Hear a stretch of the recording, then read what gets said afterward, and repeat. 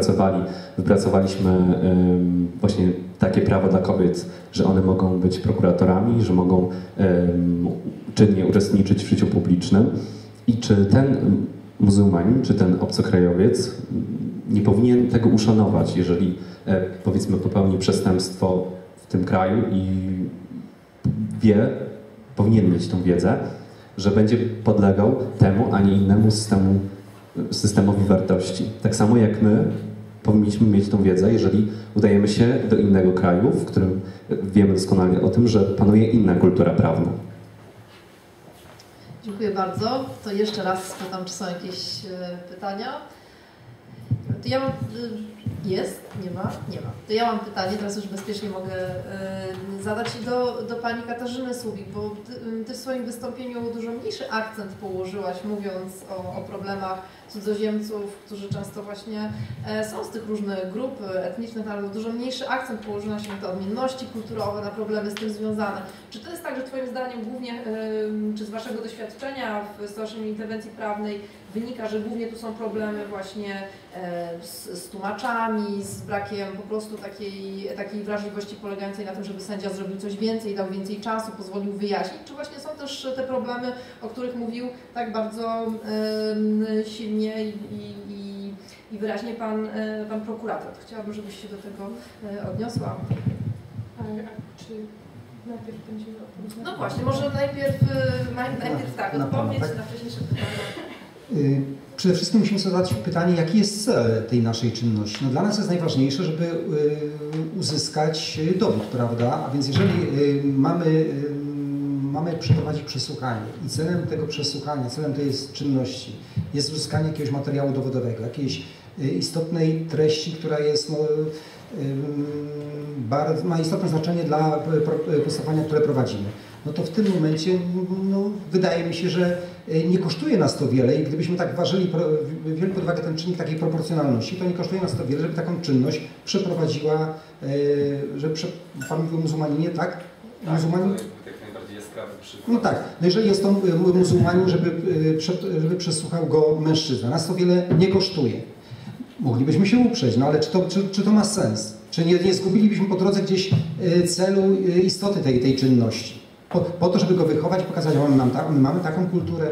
Nie, nie chodziło mi o to. Chodziło raczej o to. Ale z drugiej strony dyskryminowana mogłaby się poczuć na przykład pani prokurator, kobieta. Wie pan, to, wie, wie, pan, to, wie pan co, ale to, wy, ale to ja wiem, ja rozumiem, ale to wynika, to wynika musimy sobie u, uświadomić, uzmysłowić, jak różne mamy kultury prawne. Y, I y, teraz tak, kultury y, prawne definiujemy i rozróżniamy na takiej podstawie, że to jest stosunek norm. To jest stosunek trzech rodzajów norm. Normy moralne, religijne i normy prawne. Y, I im bardziej akurat świat islamski jest takim światem, tak, wykształtował taką, taką kulturę, że te normy prawie że się nakładają. Te normy prawie że się zlewają. I zawsze będziemy mieli do czynienia, jeżeli mamy do, czynienia z taką sytuacją, że mamy do czynienia z przedstawicielem takiej kultury, no to wydaje mi się, że nas tu wiele nie kosztuje, żeby taką czynność w ten sposób przeprowadzić. Ja rozumiem, tylko że właśnie mm, dla mnie takie już ujęło, albo właściwie zabolało to, że y, ja absolutnie rozumiem, że powinniśmy y, szanować obce kultury, wiedzieć o nich jak najwięcej i to jest bardzo ważne, bo to pozwala unik na uniknięcie pewnych konfliktów, które zachodzą w życiu codziennym. Natomiast szacunek wobec prawa i wobec naszej kultury powinien być także po stronie tych, którzy chcą jej podlegać, bo oni chcą jej podlegać właśnie z własnego wyboru.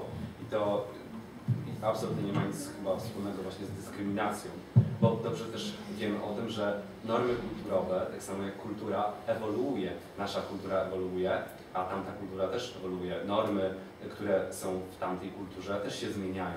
I tym bardziej, jeżeli ktoś chce podlegać jeszcze tym naszym normom, bo tu przyjeżdża i na przykład tu popełnia przestępstwo, to powinien mieć świadomość tego, że może go spotkać to, a nie coś innego.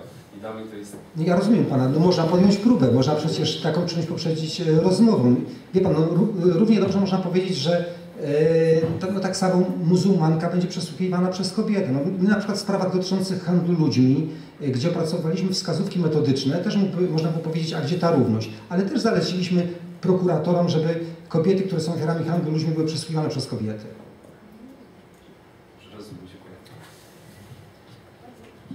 Y, Tak, jeżeli chodzi o Stowarzyszenie Interwencji Prawnej, um, my z takimi konfliktami na tle kulturowym częściej spotykamy się wśród y, partnerów mniej więcej o y, wy- wyrównanym statusie, to znaczy na przykład konflikty w ośrodkach dla cudzoziemców, gdzie dochodziło do konfliktów na tle kulturowym między grupami cudzoziemców na przykład.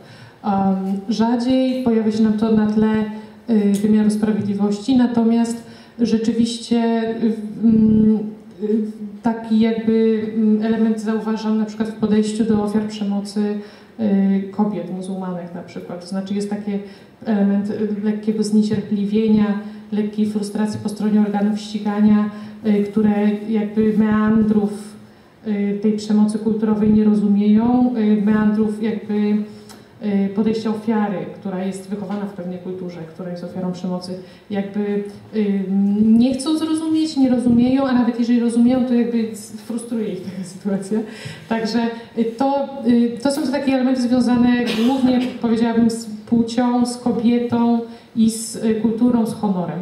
Natomiast mam wrażenie, że trochę dotykamy dwóch rzeczy, dlatego że Pan wrażenie do, drąży z kolei ten taki element, może powiem trochę stereotypowo, związany z kolei z kulturą taką męską, czyli z dyshonorem.